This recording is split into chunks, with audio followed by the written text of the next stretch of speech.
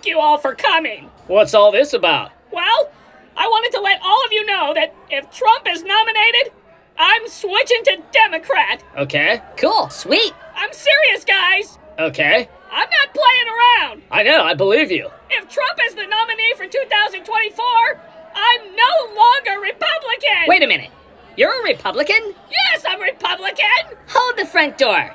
You're a Republican? Of course I am. Seriously? Yes, but I swear I'll leave if Trump is nominated. I'm not kidding. I'll do it. I swear. Wow. What? I just had no idea you were a Republican. Me either. Yeah, this is news to me. Oh my gosh, guys, I'm like the biggest Republican ever. You are? Yeah, obviously.